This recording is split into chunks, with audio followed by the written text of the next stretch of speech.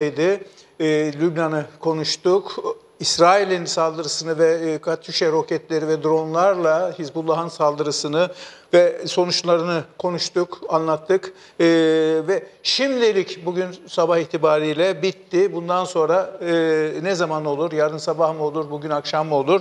Tabii önemli olan bir de Hasan Nasrallah'ın bu akşam yapacağı konuşma var. O konuşma neler içerecek? Ee, onun sonuçlarına göre de e, önümüzdeki günler de şekillenebilir olay.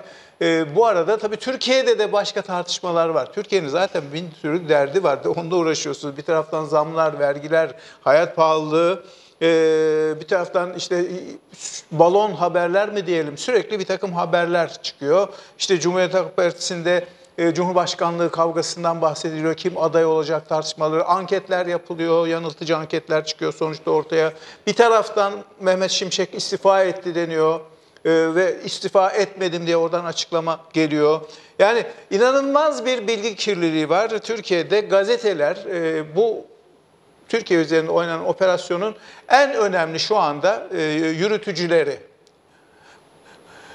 Ne dersin Hüsnü Vali? Yani e, Mehmet Şa, e, Şimşek'in açıklamasıyla ilgili hatta iddialar şey yapıldı. Dışarıdan bu bir e, silkeleme keriz silkeleme olayıydı. İşte borsayı e, etkileyip oradan para kazanmak. E ya zaten borsadan insanlar para kazanıyorlar. Doları sizi tuttuğunuz yerde, doları sabitlediğiniz yerde tuttuğunuz sürece sıcak para geliyor tıkır tıkır. 1 milyonu yatıran sanıyorum 1 e, milyon dolar getiren 52 bin lira mı 40 bin liraya kadar 32 günde faiz alıyor. Yani e, silkeleniyoruz zaten. Türkiye'yi silkeliyorlar adamlar. Sıcak para sıcak para diyorsunuz. Gelen sıcak para ciddi faizler götürüyor şu anda. Doları orada tuttuğunuz sürece. Çünkü neden? Adam doları getiriyor 33 liradan bozduruyor. Koyuyor.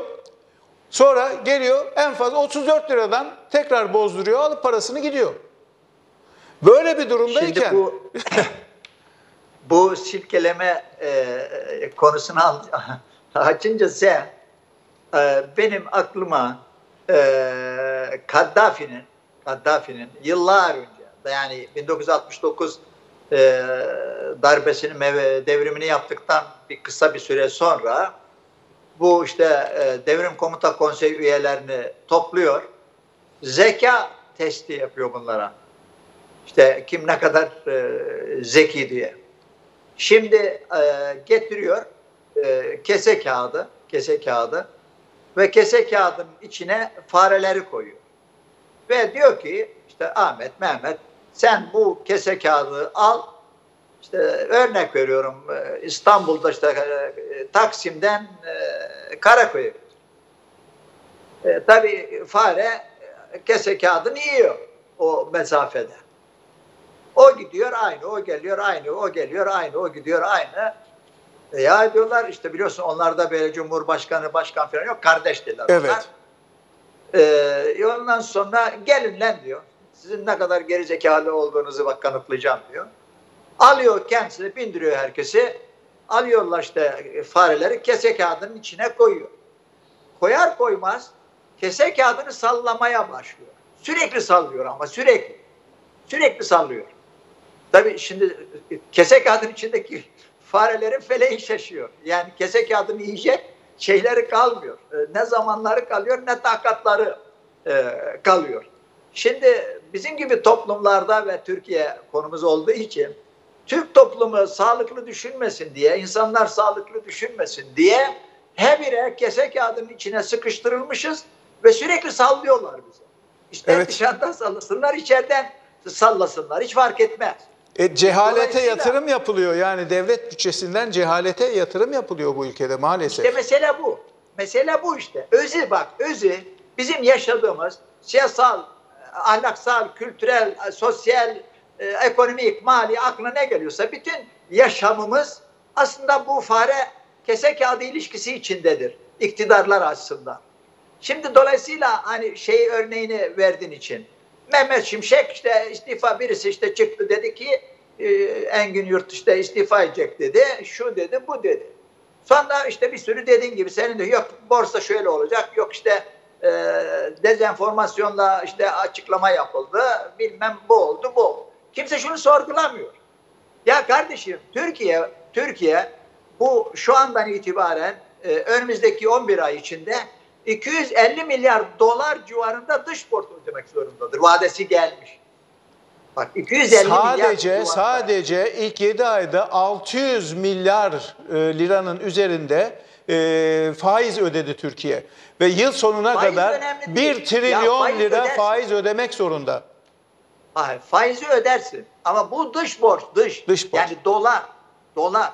Ödemek zorundasın, vermek zorundasın. Yeni alırsın, verirsin. O başka. Ama bu ödenince, şimdi düşünsene, sıcak para dediğin için sen. Sıcak parayla bu 250 yaklaşık olarak 250 milyar dolar arasındaki ilişkiyi düşünsene. Eğer bu iktidar 250 milyar doları bulmak zorundaysa doğal olarak sıcak paranın da girişine izin vermek zorunda. Şimdi sıcak para dediğin andan itibaren 5000 tane soru gündeme gelir. Bu sıcak para kim? Nereden? Neden giriyor? Faiz niye yüksek bizde? Niye dolar şu kadar? Niye işte şu kadar? Niye TL böyle? Niye bankalar böyle? diye sorgularsın. Ama kimse bunları sorgulamıyor. Evet. Kimse Evet. sorgulamıyor. Bir haberle üç gün eğleniyoruz. Dördüncü gün yok. Dördüncü gün şimdi Sinan Ateş, rahmetli Sinan Ateş cinayetinde. Hep o örneği ben verdiğim için. Şimdi üç, üç, geçen hafta biliyorsun bir tane Filistinli kağıthane tarafından öldürüldü. Ya ertesi gün adamların nereden nasıl kaçtığını bütün görüntüleriyle çıktı. Romanya'da yakalattırıldılar ve getirildiler. E peki Sinan Ateş olayında niye yakalamıyorsun Değil mi? katilleri? Değil mi? Niye? Bak Romanya'da Romanya'da yakalandılar. Adamlar Romanya'dan zaten getirdiler. cinayetten 2 saat sonra Bulgaristan'a geçmişler. E, Gördün mü? Bütün bilgiler var. Demek ki Türk devleti bütün bilgileri anında elde edebilen bir sisteme sahiptir. Bu iyi bir şey. E peki Sinan Ateş olayında niye bunu uygulamıyorsun? Niye? Evet, evet, evet.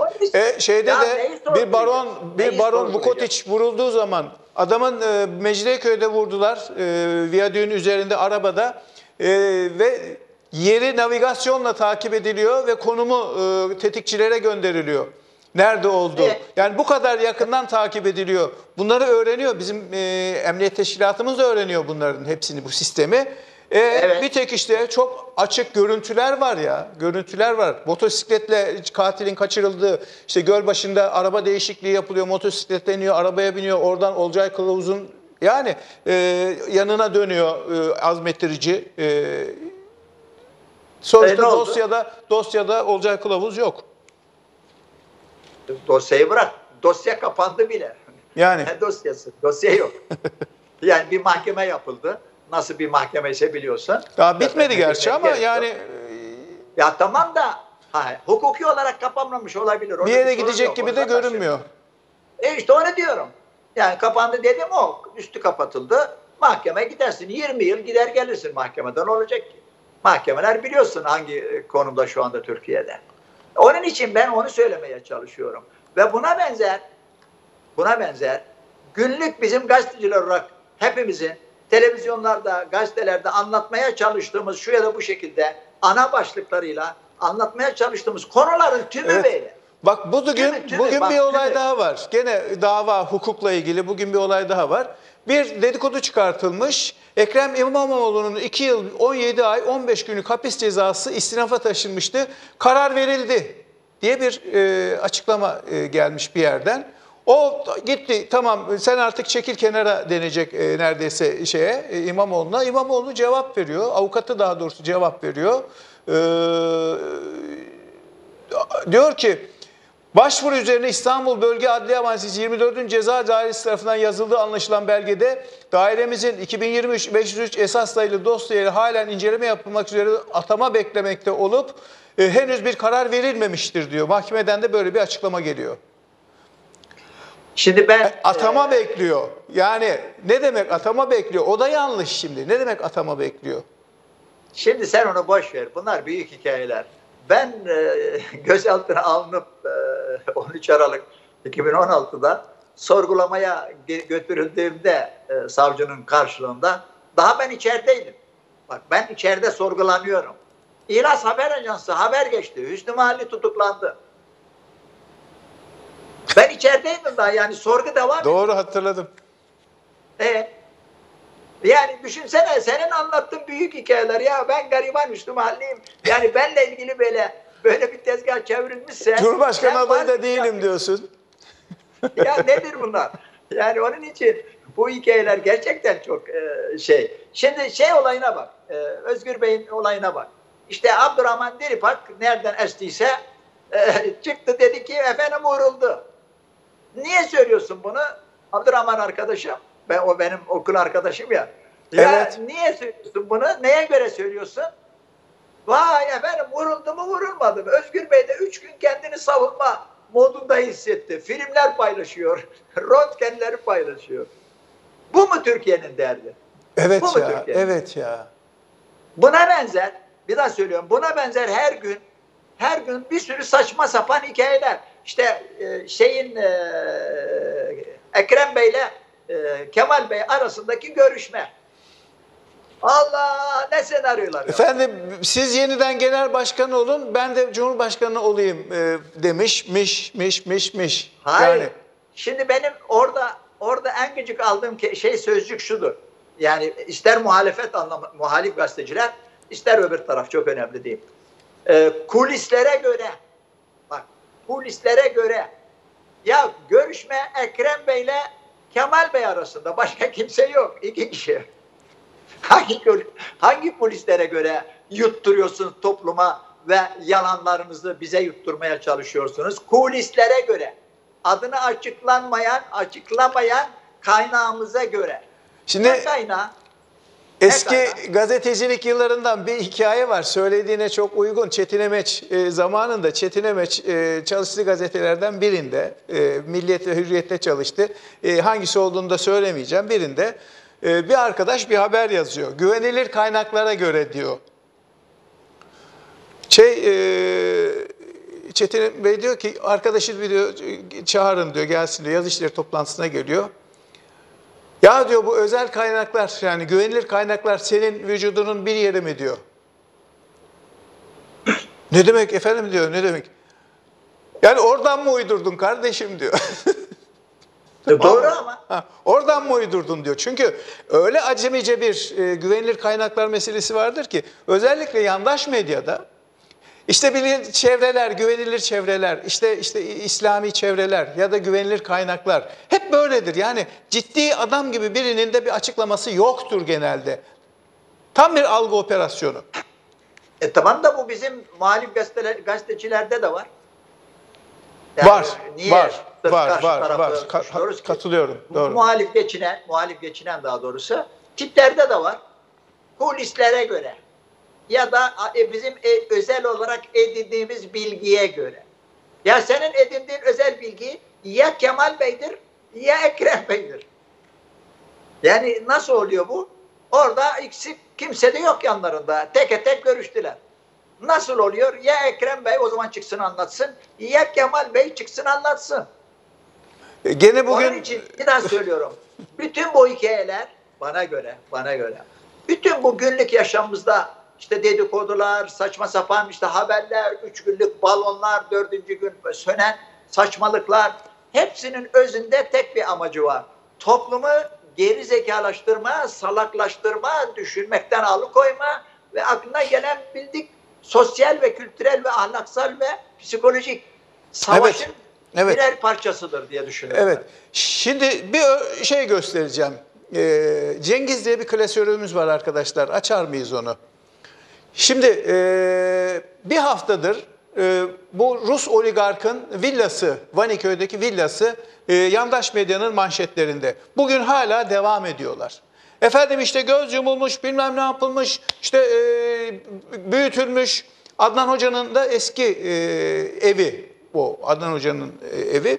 E, daha sonra bu Rus oligark almış ki ben de buna sinirleniyorum. Memleketlerinden çaldıkları paraları bizim ülkemize yatırım yapıp böyle refah içinde Türkiye'de harcamalarını, yaşamalarını içime sindiremiyorum açıkçası. Dün de söyledik bunu. E, e, bunu bir İngiliz e, kadın İçişleri Bakanı vardı. Hani e, resmi mesajları özel e, hesabından paylaştığı için istifa etmek zorunda kalan İçişleri Bakanı. Ya dedi kendi ülkesini soyup gelip burada dedi yatırım yapıp altın vize almanın önünü keseceğiz artık dedi. Yeter dedi. Kendi ülkelerini soyup burada harcamasınlar dedi paralarını dedi. O açıdan baktığım zaman ben bunu e, eleştiriyorum. Ama adam almış burayı. İşte yok ağaç kesilmiş, şu olmuş, bu olmuş bir sürü tartışma. Tamam haberin üstüne gidin.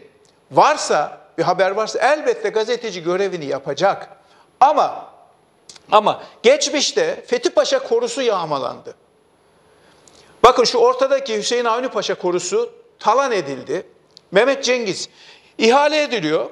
ihale ediliyor. Sıfır, sıfır liraya alıyor burayı.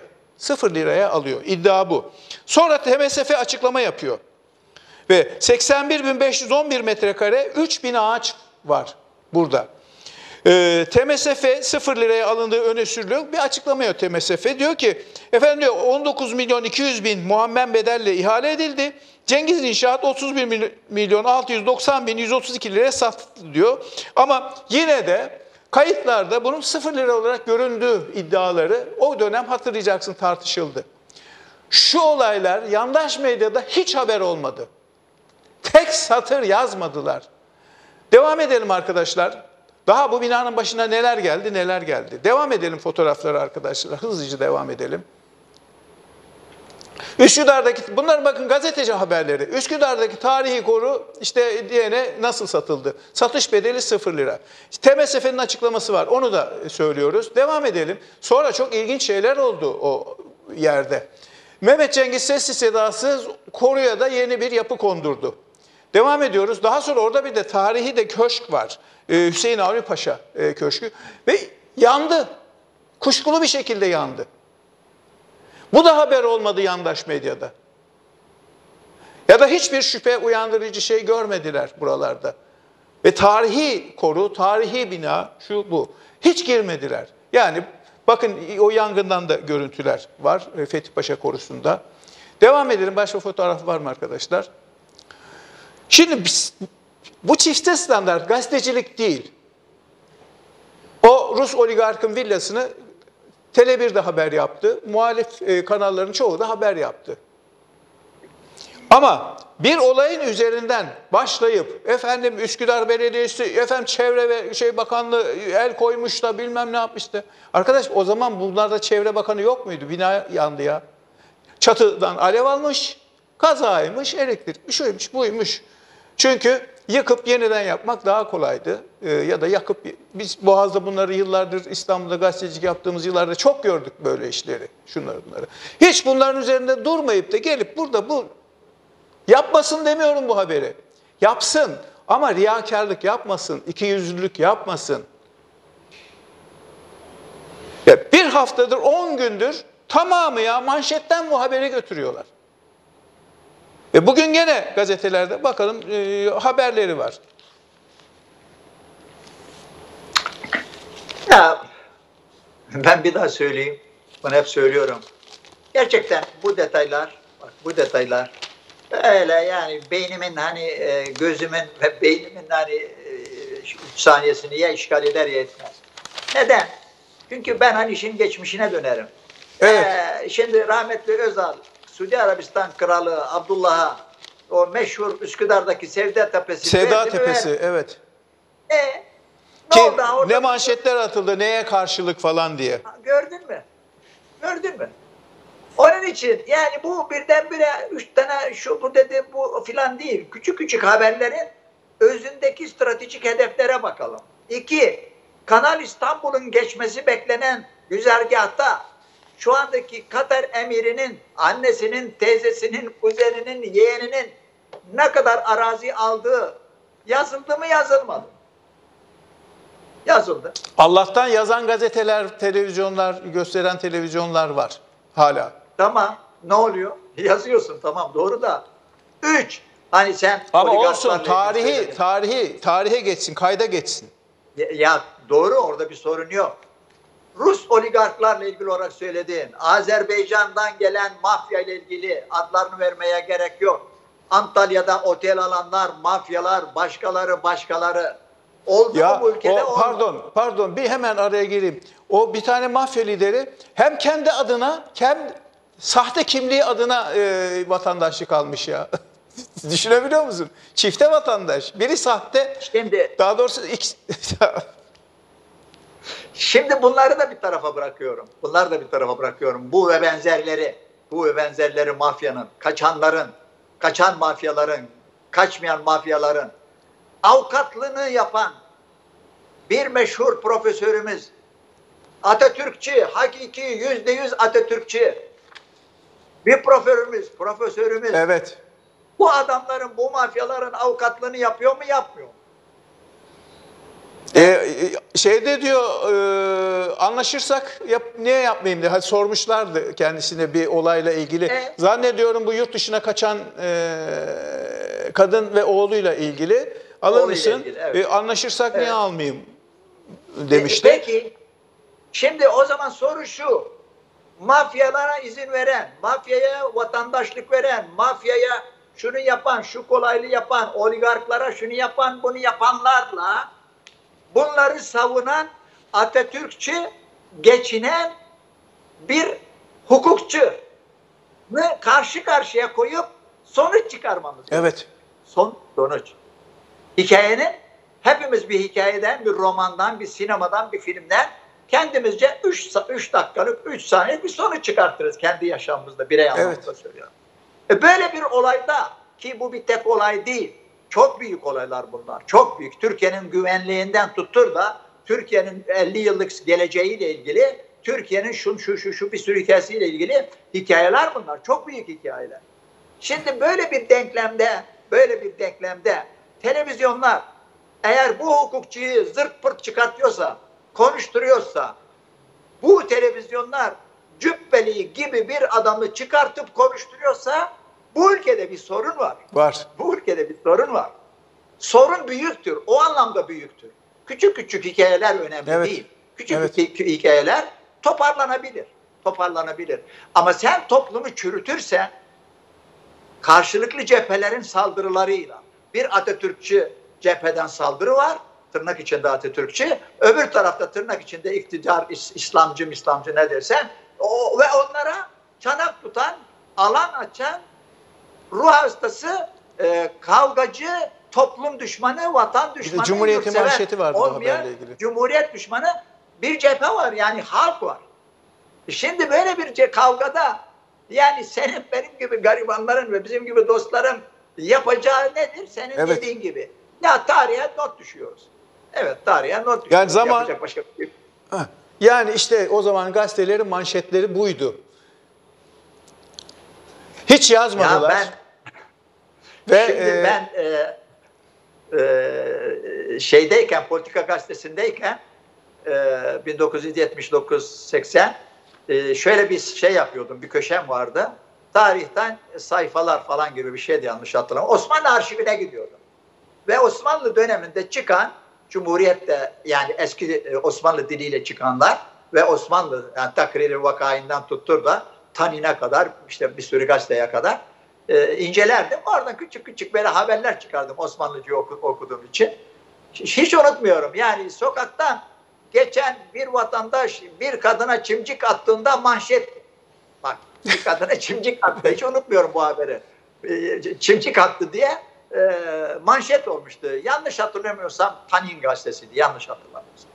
Şimdi düşünsene bir kadına çimcik atmaktan kadına çimcik atmaktan sokakta kadının dövülmesi ve vatandaşların seyretmeye seyretmeleri. geldi. Evet. Ee, daha ne? Daha ne? 100 Ya- yılda geldiğimiz hikaye bu. Kimse İşte, kusura bakma. işte çürüme bu. Evet. Yani Hikaye değerlerin bu. çürümesi. Çürüme dediğimiz şey sadece yolsuzluklar falan değil. Eğitim sistemi Ya. çürüyor, yargı çürüyor, işte e, sosyal de oraya ilişkiler çürüyor. Aynen. Aynen. Oraya geleceksin. İşte Evet. ben, ben kurguladığımız bütün konuşmalar Hayır şimdi buraya tabii geliyor. Mehmet Cengiz yapınca e, görmüyorsun ama üstelik bu arazi böyle bir evde değil. Hani Rus oli- oligarkinki sadece bir evden ibaret. Burası 81.511 metrekare. 81 dönüm, 82 dönüm falan bir yer. E, ve e, 3000 ağaç var içinde. Cengiz'in e, kapattığı koru. Yani e, haber değeri görmediler bunda. Ama öbür tarafta Burada burada ben hani anlatıyorum Bodrum'da e, talan edilen koyuları. Evet, evet, cennet iki koyu baştan. Yani birebir gördüğüm için anlatıyorum. Dedikodu filan. ve hep aynı Direkt insanlar söyleyeyim. çıkıyor değil mi Hüsnü? Aynı insanlar çıkıyor karşına. İki, iki bu oligark e, dediğin ve ya da Arap prensler e, burada Yalıkavak marinasına git. Akıl almaz tekneler görürsün. Akıl almaz. Tabii. Yani tabii. işte sallıyorum 200 milyon, 300 milyon, 500 milyon dolarlık tekneler. Hepsi- Rusya'dan kaçırdıklarını. Türkiye'ye istiflediler. Peki Sedat Peker, Sedat Peker 3 sene önce e, videolarında Marina ile ilgili neler anlattı? Marina'nın Mehmet Ağar'la olan ilişkisini anlattı mı, anlatmadı mı? Orada dönen dolapları anlattı mı, anlatmadı mı? Mehmet Sayın Mehmet Ağar çıkıp da buna yanıt verdi mi? Devlet buna bir açıklama getirdi mi? Ve Mehmet ve Sedat Peker'in videoları o zaman için 30 milyon, 40 milyon, 50 milyon seyredildi mi, edilmedi mi? Evet. E, bugün Sedat Peker'i hatırlayan var mı? Konuşan var mı? Yok. Ama şimdi e, sanıyorum e, o marinanın sahibi de televizyon sahibi oldu aynı zamanda sanıyorum öyle değil mi? Daha neler oluyor? Sırf onlar olsa sorun değil. Ya çok Daha neler neler oluyor. çok Aa, çok aa, şu, Rütük- şu Rütük olmazsa var ya. Rütük abi, Rütük abi bize bir şey demese var ya. Neler neler, sohbet niteliğinde neler neler konuşuruz. Yeter ki Rütük desin ki e, Namık'la Hüsnü'ye biraz sınır, şey özgürlük sınırlarını Serbest. desin. Bak Rütük var. Bir de e, bu Kantar Medya var. Şimdi yarın mesela izlenme oranlarına falan bakacağız. Geçen haftaki program sanıyorum e, YouTube'da paylaşım yapılan paylaşımlarda benim en son baktığım 150 binin üzerindeydi.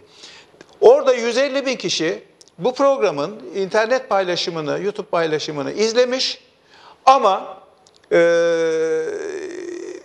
Kantar Medya'nın 1500 deneyi izlememiş. Ya onları boş ver ya. O 1500 Yani kişi izlememiş ama e, 150 bin kişi YouTube'da açmış, izlemiş o buradan kesilen ve paylaşılan. e, Yani gördüğümüz deminden beri konuştuğumuzda işin özü Gılgamış e, destanına kadar gider. Çok teşekkürler Hüsnü Mahalli. İyi pazarlar diliyorum Kolay sana. E, değerli Kolay. izleyiciler, hepinize iyi pazarlar. E, Musa Özuğurlu Lübnan'da, yarın sabah da e, sabah pusulasında birlikte olacağız. Görüşmek üzere. Güzel bir pazar günü diliyoruz.